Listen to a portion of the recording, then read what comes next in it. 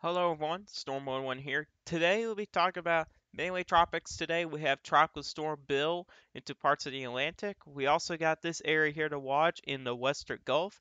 And another disturbance has popped up in the main development region. Region. I also want to show you guys one of my new forecasting tools that I want to use for forecasting tropical systems as well. It's something that I've just made today, and I think it's going to be a pretty good tool to use, and I want to see your guys' opinion on that. So was going to get started with the National Hurricane Center outlook here. Of course, we got Tropical Storm Bill here. No threat to the United States, thankfully. Has 60 mile per hour winds with a central pressure of 998 millibars. It got pretty organized yesterday. It actually became a tropical depression yesterday. And this morning, I believe, actually last night at 11 o'clock, we got Tropical Storm Bill. Let's click on this system here on Tropical Storm Bill. And looks like I may have a threat to parts of Canada here. But nothing major or anything like that. It'll be a, a subtropical system here. Uh, or post, or yeah, post-tropical system here. They'll be moving into parts of Canada. But other than that, no threat to the United States at this time here. Which is good news there. And we're done with Bill talking about him. We had disturbance number two. It's got a very low chance. Um, we'll take a look into a couple hurricane models. This is Invest 94L here. And it's got a very low chance. They just dropped the chances for the next five days here. And it was a 20%. They just dropped it to a 10% chance. This system will be heading into an environment that will not be favorable for tropical development. There will be some dry air and there will also be some wind shear to work with. So this system may not really survive that well through that, but we'll see afterwards. Sometimes these systems could survive through dry air and wind shear, so we may still need to watch that system, but right now I'm not too worried about that system.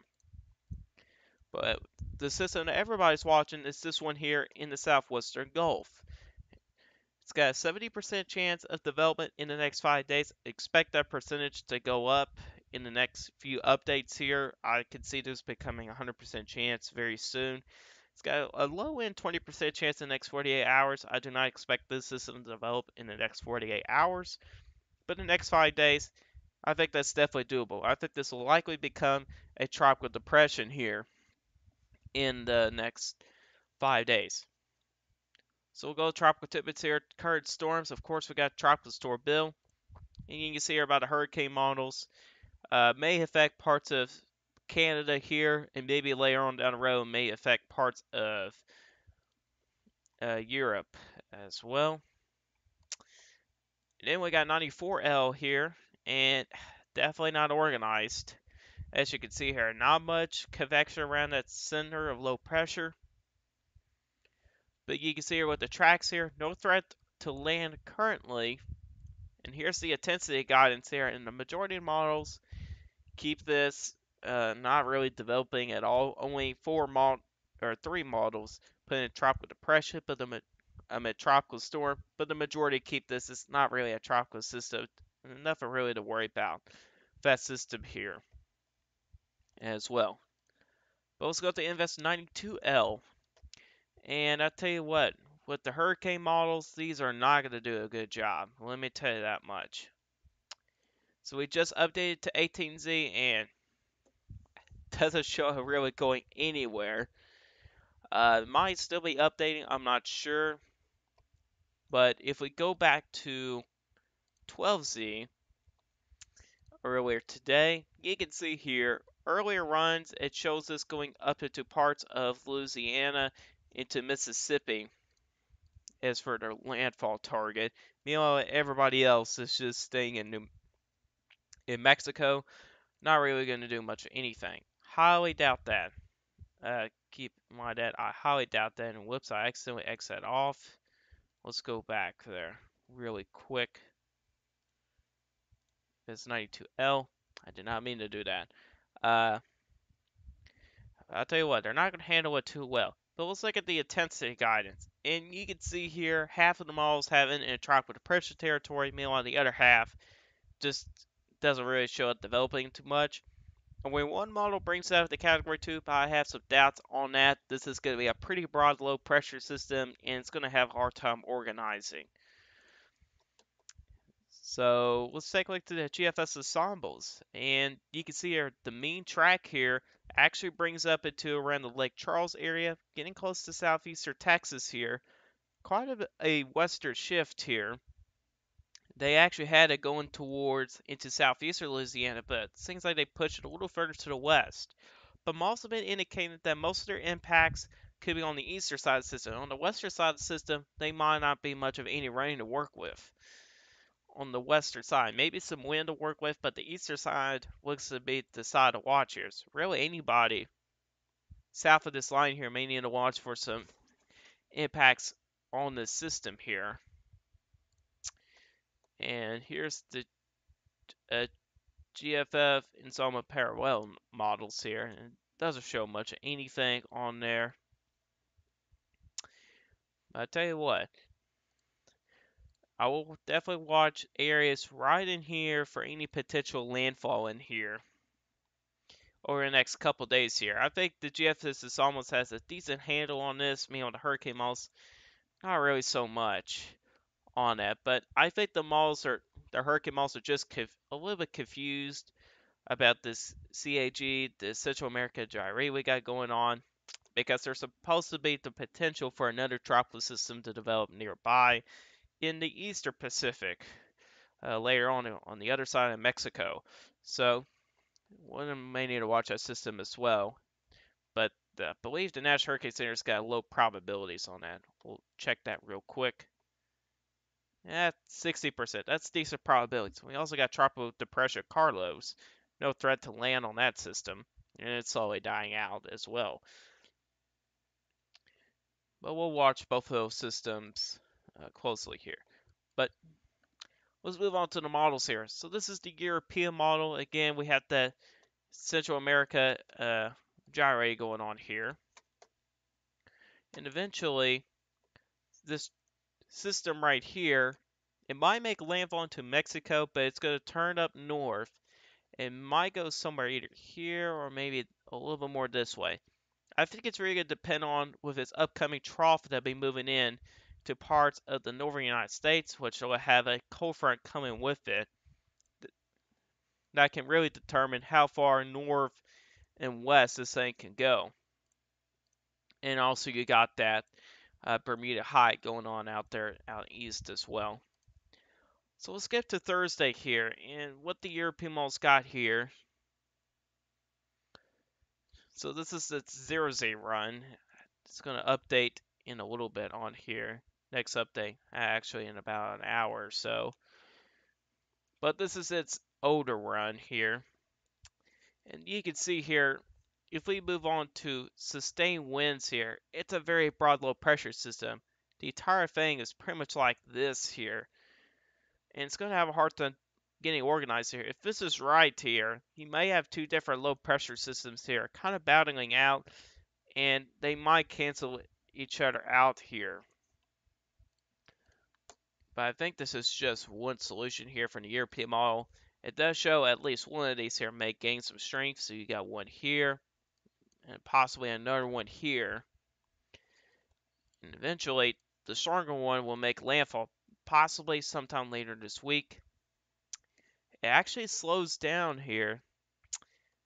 Uh, similar to Harvey here. Kind of slows down here, kind of goes down along the coast, eventually makes landfall here eventually not really buying too much into this right now.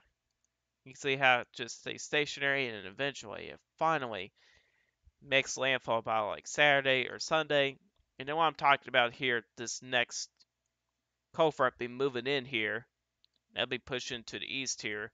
Now mine being one of the driving factors for this tropical system here could go way up here, or maybe it could continue down this way.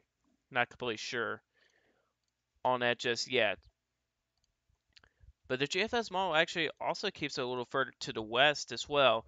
Models in earlier runs actually kept uh, actually kept it further east here. It actually brings in some big time impacts in these areas in there. And it seems like models are a little bit going back a little further to the west.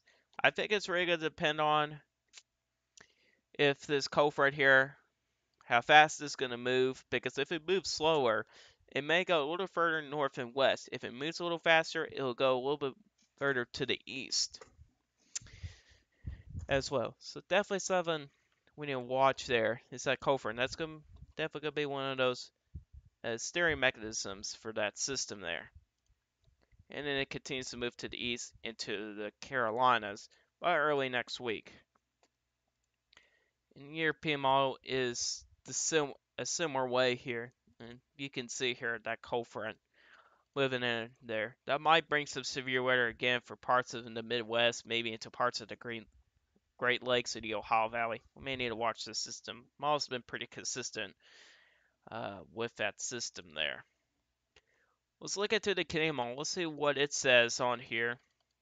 And you can see here again with that broad low pressure system.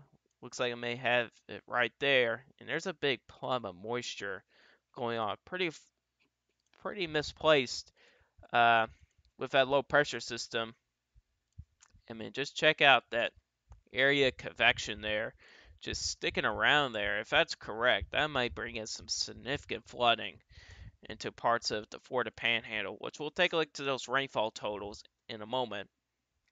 But then again, still some uncertainties on the system here. I think there's a chance. I think the center low pressure may might make landfall somewhere in Louisiana, but we just do not really know where it's going to make landfall. We'll see what the models will trend towards as well. But I think I might make landfall somewhere in Louisiana and might continue up into parts of Mississippi and Alabama later on. But I still think either way, there's a decent chance this will become a tropical depression. Could be a weak one, but there also may be a possibility this might become a tropical storm as well if it can get organized very quickly. Which with model trends here, there's a lot of uncertainties here. And there could be multiple low pressure systems that may have to fight with within the Central America gyre and misplaced convection. So a lot of stuff could happen with this system here. It may impacts might not be as bad, but I still think rainfall is still going to be a big concern here because whenever it moves up north, it's still got a lot of moisture with it, plenty of it. Maybe not much in the way with winds, but rainfall, yeah, definitely for sure. So let's check out the European model. This is its newest run, and it's a, in its recent run, it brings it pretty far to the west here. I mean, check out all this rainfall, anywhere from four to seven inches of rain. Quite a bit of rain to work with here. Even moves up into parts of northern Alabama, northern Georgia, and eventually moves up into the Carolinas later on. GFS model uh, a little further south with this rainfall here, but still shows a lot of rain. Really anywhere from four to maybe nine inches of rain in some places. They only got some isolated spots of 11 inches in parts of southern Alabama. And this is going to be an overkill. And I don't think this is going to happen. And here is the Canadian model. Almost 30 inches of rain in parts of Florida. Do I think this is going to happen? No. But is it a factor? Maybe. Might be. Because there might be a chance this system might stay a little bit stationary here it might move a little bit slow here, and it might move slow enough to get some of these significant rainfall totals. So we'll still need to watch for that. Here's the Weather Prediction Center thinks about this system. And you can see here, it does have some places close, closing in on 10 inches rain. And this is the next seven days here. Keep in mind of that. So anywhere from looks to be 5 to 10 inches of rain for places like in southeastern Louisiana, southern Mississippi, southern Alabama, into parts of the far western panhandle of Florida as well. And here's my probabilities for this tropical system. I think there's a pretty good chance this is going to become a tropical depression, but I think there's still going to be uncertainties uh, for this thing to become excuse me, a tropical storm over the next several days here. Now let's going to get to my new forecasting tool, whatever you guys want to say about this. So I call this the tropical system impact forecast. And this is going to be in levels. So it's from a level 1 to 5 here. So let's go over what each level it's got here. And also made a little forecast for the system here as well using this forecast as well. So start off with a level 1, minor impacts. So this is anywhere from 1 to 4 inches of rain, tropical depression winds of 25 to 35 miles per hour, and also a 2% chance of tornadoes in SPC standards. In SPC standards, that's a 2% chance of a tornado in a 25 mile radius of, even, of any given point. That's what that means there. So basically, you'll probably get some beneficial rain out of the system here. You'll get some decent winds out of it, and you also get an isolated after That's kind of what it means there. And minor impacts, it's not really too big of a deal. Then on level 2, this is where things start to get a little bit noticeable.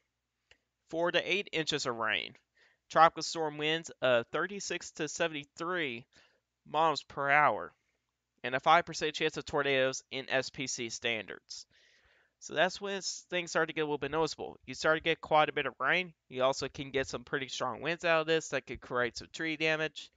And also you can see a few tornadoes. So it is a little bit noticeable impact from this system here. From a tropical system if it does produce those factors. And then you can move on to level 3. This is when you start to get some of those major impacts. 8 to 14 inches of rain. That's a lot of rain. That could bring in some major impacts. Category 1 and Category 2 winds. It can either be a Category 1 hurricane or a Category 2 hurricane. And those are winds of 74 to 110 miles per hour. And also that 10% chance of tornadoes. Now, this is where they issue significant probabilities at this point. It doesn't really matter. It can be significant or it cannot be significant. What significant probabilities means it doesn't matter if it's a chance for tornadoes or a chance for strong tornadoes. It doesn't really affect it with the strong tornado probability. It's still a 10% chance of tornadoes either way. So the significant probabilities doesn't really matter into this category here. And that's the same way for level 4 and 5. So level 4, intense impacts. 14 to 20 inches of rain. That's a lot of rain when you think about that. Category 3 winds of 111 to 129 miles an hour, and also 15% chance of tornadoes. And then you move on to level 5, catastrophic impacts. This is where you start to get some major damage to homes and businesses here with the winds and also for the rain as well. When you get at least 20 inches of rain, that could bring in some catastrophic impacts and can produce a lot of damage with that flooding with at least 20 inches of rain. Plus, you also got the 30% chance of tornadoes. That's a pretty high probability for tornadoes, which I think that's happened once. That's a high risk in SPC standards. I think there was a high risk for tornadoes uh, for an SPC for one tropical system. I cannot remember when that was, but I'm sure I believe it happened once before. So that puts it into the level 5 category here.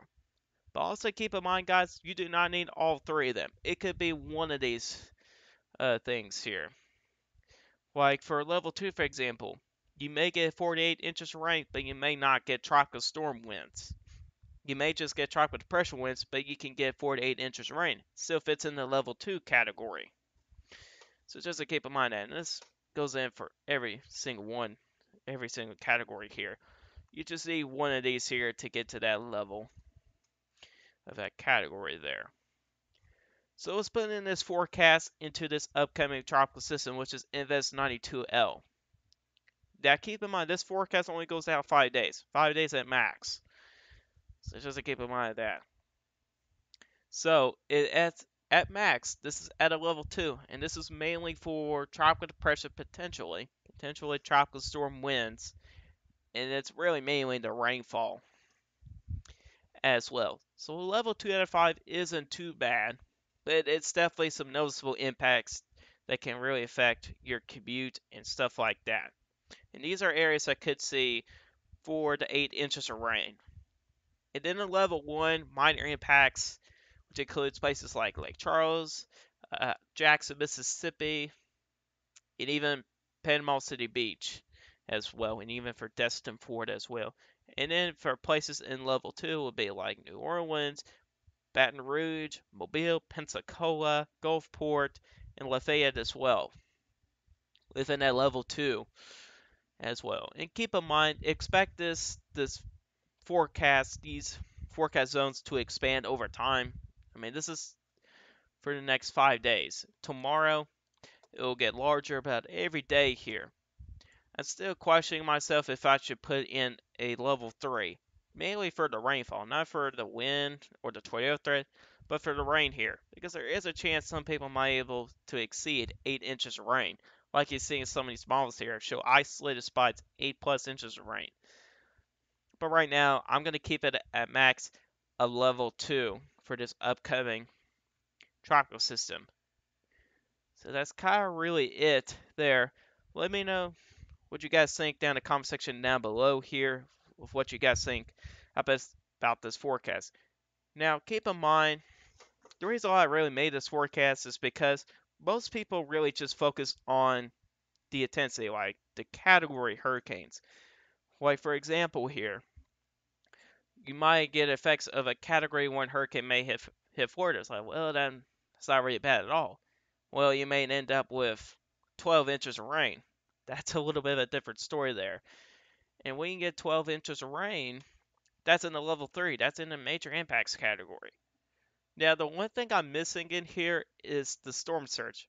And most of these, all these here are more of inland type of effects.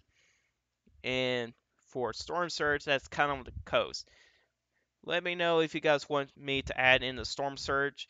If you got in the comment section down below here and I'll add it if you guys want Storm Surge to be added in here. And that's kind of the reason why I've put this up here with this level, uh, with this forecast tool here.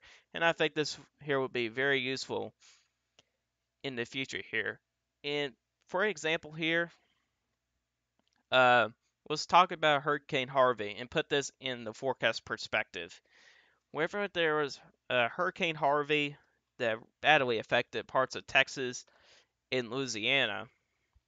It was only a Category 3 hurricane at max. That puts in the level 4 category. But he also got at least 20 inches of rain. That's catastrophic impacts as well. Another example here is is last year. Uh, I cannot remember the name of this tropical system, but it effect it made landfall somewhere in Mobile or Pensacola or maybe a little further west than that. Some of you guys probably know that. I believe it was at max of a category 1 or 2 hurricane. It was at a level 3 uh, for the impact thing. But people got 14 to 20 inches of rain. Maybe a little higher than that. That's a level 4. That's intense impacts. That can create some significant problems if you get that much rain. So that's kind of examples here. So this is a way that people don't really get caught off guard, and I think this will be a really good forecast tool as well. And I might change the inches of rain numbers a little bit as well in the future. We will see about that. But anyways, guys, this is RV Gas today. Hope you guys enjoyed this video. If you guys like this video, hit that like button. If you really like my channel, hit that subscribe button hit the bell notification so you never miss an upload. If you guys have questions about this, leave it in the comment section down below. I'll answer you guys' questions, and I'll see you guys in the next one. Goodbye.